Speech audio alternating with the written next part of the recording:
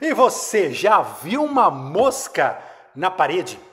Você já chegou no seu quarto e viu um pernilongo ali parado no teto? E de repente você voltou ali uma, duas, três, quatro horas depois e o bichinho está no mesmo lugar? Ou uma aranha, ou o que for? Você já reparou que muitas vezes um inseto está parado na parede e ali ele fica imóvel por muito e muito tempo? A pergunta que a gente tem que se fazer nessa hora é: onde está este inseto? Ou seja, onde está a alma deste bichinho? Poxa, se um inseto vive às vezes um, dois, três, quatro dias úteis da sua vida inteira, por que, que ele fica parado na parede sem se mexer por tanto tempo.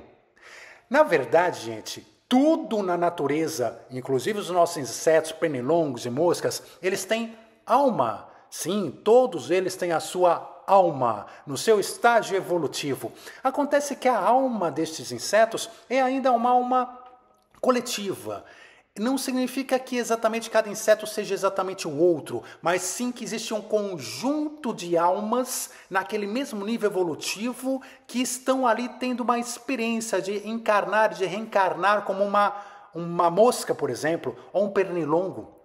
E estes, estes insetos, essa, esse bando, por assim dizer, de almas, esse inseto que está encarnado, ele ainda faz parte dela, mas ele está encarnado. Quando este inseto está parado na parede, ele está justamente num estado, como nós comparando ao nosso, seria de adormecimento. E ele está numa verdadeira viagem astral. O inseto passa a maior parte da sua vida no plano astral e não no plano físico. Enquanto ele está no plano astral, ele está com esse conjunto de almas, com esses amigos iguais, e esses amigos também estão aqui como espíritos de pernilongo, por assim dizer, também vivendo na matéria e fazendo essa vida é entre o plano astral e o material. São como fantasminhas de insetos. Estou falando muita loucura, gente? Pois é, mas é isso que acontece. Vamos entender isso um pouquinho melhor. Quando a gente fala de um inseto, este inseto está aprendendo. A sua alma, seu espírito está aprendendo uns primeiros passos sobre o físico. Ele está aprendendo a dar os primeiros voos como inseto, a começar a entender o que é um livre-arbítrio de poder voar para cá ou de poder voar para lá. Ele está tendo as sensações de estar encarnado, muitas coisas naquela almazinha que está encarnada. Mas ao mesmo tempo, ele tem uma ligação tão forte magnética com o seu grupo de almas né? no caso, naquela mesma frequência daqueles insetos, aquele grupo de almas, que ele vive paralelamente com eles. Não é muito diferente do que acontece com nós, gente humano. Então a gente acha que é muito louco, mas nós humanos somos muito parecidos. Quando a gente sonha, quando a gente vai dormir, nós vamos para o plano astral e no plano astral encontramos amigos, mentores, guias, familiares e conversamos com eles. Enfim, há muita atividade durante o nosso sonho no plano astral e quando a gente volta para cá, em geral a gente se esquece e fica na questão do sonho mais com uma uma questão de mental, né? o nosso mental ele forma muito daquilo que a gente lembra de sonho, mas isso é uma outra história.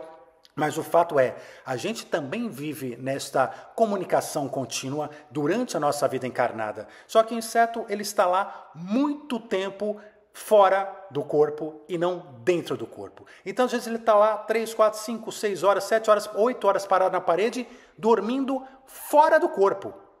Acontece que quando o ego, o corpo, ele então entende que é o momento de se alimentar, é o momento de acasalar, é o momento de qualquer coisa, ou ele foi provocado, tem né, alguma, algum risco uh, de alguém que está chegando perto, alguma coisa, então há uma corda que nem nós fazemos, de repente acordamos na cama e aí ela volta a voar e ela volta a ter a sua vida física. Mas é isso, um inseto na parede, gente, quando a gente olha lá, ele não está exatamente lá. Ele está fazendo a sua projeção astral e já volta. Interessante, né? E o que, que você acha sobre isso? Você gosta de insetos? Eu acho que os insetos é isso, é a natureza, fazem parte né, dessa massa que dá vida à natureza. Mas, enfim, qual é a sua relação com os insetos que ficam na parede da sua casa? Deixa aqui o seu comentário. E a gente se vê no próximo vídeo. Um forte abraço, muita luz e até já!